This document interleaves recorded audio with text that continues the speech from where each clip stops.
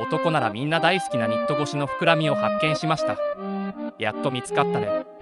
えーっとどこ？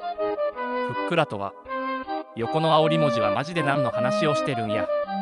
ふっくらもしてないし嬉しくもないし誘惑もされてない。ジャケットのボタンのことかと思ったわ。なんやこのダサい服装。トトロかな？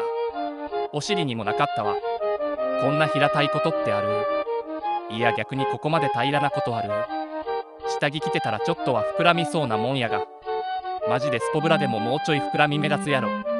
絆創膏か胸元ざっくりパジャマから覗く谷間はなかなかだよな。谷谷山の間の細長くくぼんだところ。間さらに一般にそれに似た形になっているところ。